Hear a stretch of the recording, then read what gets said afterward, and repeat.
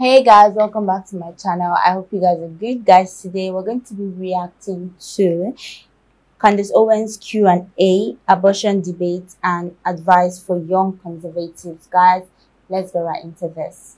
I don't know if it's stupid to say I'm neutral about pro-life or pro-choice. It's not stupid at all. Because I know that the person that I have a baby with will be my husband.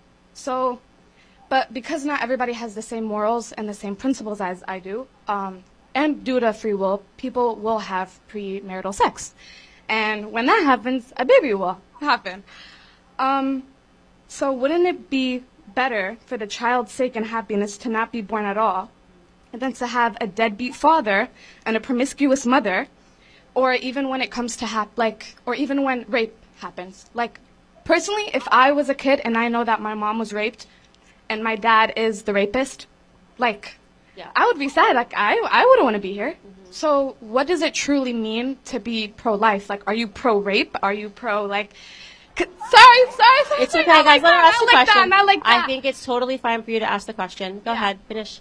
Um, but it's like, I'm all for, like, cause I'm all for, like, family values, mm-hmm. but having a child raised like that, mm-hmm what type of family value is that? Okay, great question. Thank you for asking it. Um, so I think I was pretty open about the fact that I used to be pro-choice, and so I want to first acknowledge what you're saying because one of the things that the left is really great at is arguing in extremes, right? The most extreme scenario. What if you are a 10-year-old and you are raped and you get pregnant, right? Rather than addressing the fact that 99% of the abortions that we're dealing, 99.9% of the abortions that we're dealing with are not in those circumstances at all. And it's just people that are having promiscuous sex and wanting to get rid of their children because they don't want, they're not prepared to be parents.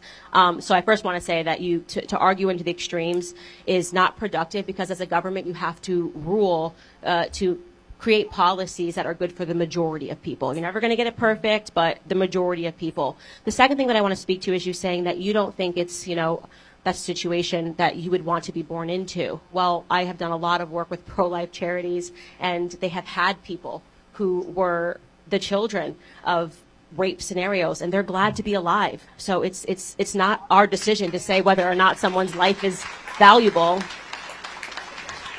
in order to hear what they think they kind of have to be born, right? And the last thing that I'll say as somebody who was raised in not the, the greatest circumstances and who came from a broken family, I sure as hell am glad that I was born. So thank you so much for your question. I totally understand it.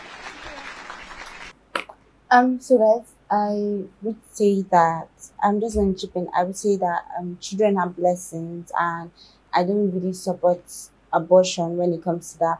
And you don't have to like make I, I don't feel I don't feel you should make that decision, you know, to abort a baby. I mean it's it's enough trauma you getting raped or you being sexually assaulted.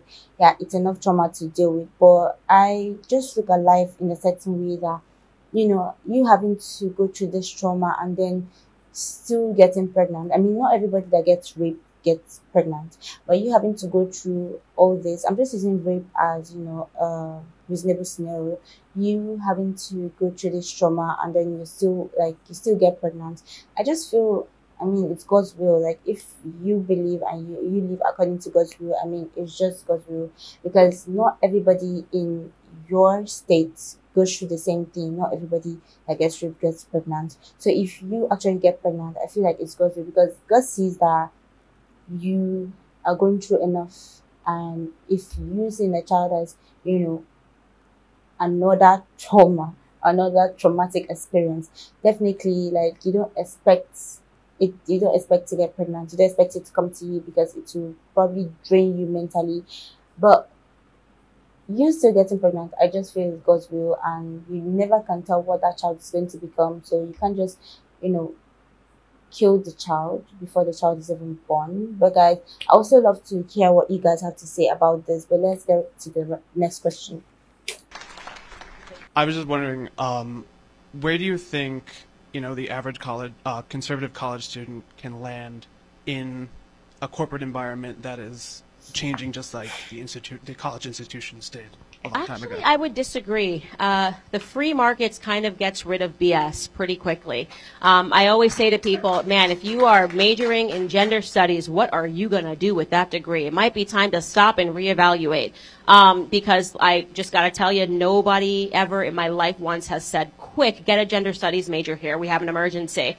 Um, and so at the end of the day, and as somebody who is an unapologetic free market capitalist, uh, the, the free markets will take care of it. They're not just going to be hiring gender studies majors at Goldman Sachs to fill some quota, right? Um, and when you, know, you think Elon Musk is like, I'm going to hire a few, you know, people that majored in gender studies because I had the fill quota. No, at the end of the day, you actually are going to have to be skilled to enter the workforce. And I think that's actually part of the reason why when a lot of these students get out into the world, they're so angry because they can't make any money and they feel like the system has cheated them. And in many ways it has. You've been kind of rinsed and brainwashed with all these ideas, believing that if you pursued these social issues as degrees, now you're in tons of debt, you can't get a job because nobody nobody thinks that you're really that smart because you you know studied all of these obscure topics. It is a bit unfair and that's what i hope to undo and that i hope people have this awakening and understand that you gotta you gotta be able to provide something. You gotta way better to stay out of school learn how to fix air conditioners. I'm dead serious. They're making a ton of money a killing. Learn how to work with your hands. So guys, um, with this particular question, I'm going to say yeah, there are a lot of you know courses that people are studying in university right now that once you get out, trust me, you're not going to get a job. No matter how hard you look, you won't find a job. I mean, even if you find something, trust me, it won't be related to exactly what you studied. Because that is how it is now in this present era. I mean, but like, it is really good to, you know, make money with your hands. You can't just have, that's why you hear people asking, oh, what's your backup plan just in case school doesn't work out? Because for like, um, I'm going to say like 68% of, you know, graduates don't get a job once they're done with school. So like if you learn something, you learn a handiwork or something, that could fetch you more money than your degree. That's to some people. It could fetch you more money than your degree actually. So I feel like everyone should try to, you know, learn something they could do with their hands, which could help them just in case school doesn't really work out for like those people. But guys, let's get right back. Hi, um, so I'm a girl going through like high school and my school's very liberal. So what advice would you give to like conservative teenage girls?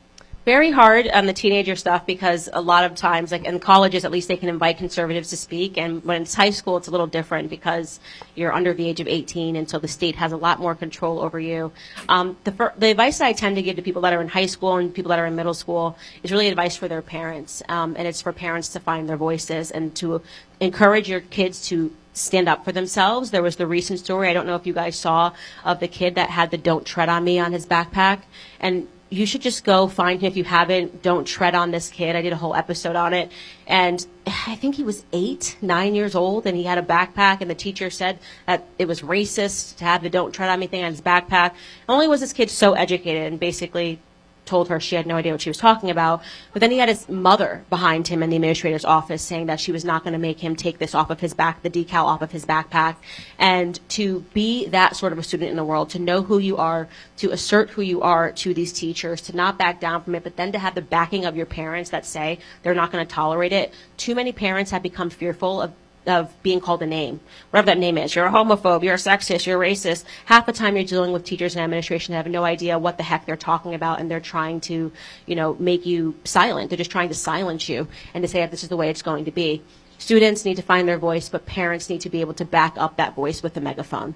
So that's what I would Thank say. Thank you. Thank you so much. So guys, I totally agree with her when I say um students should be able to speak up for themselves, especially those like in um high school and you know primary school.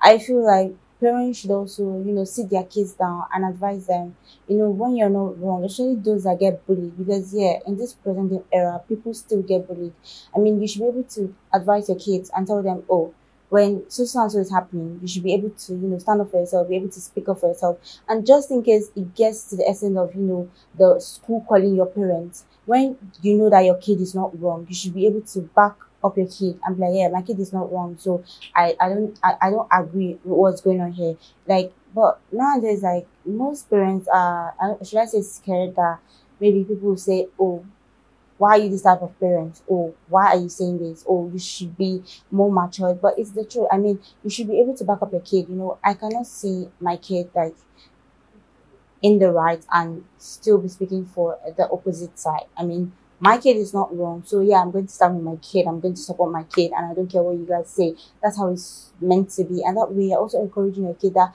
you didn't do a wrong thing by standing up for yourself. It should be like that. But guys, the more you think about this, don't forget to like, share, subscribe to my channel. Love you guys.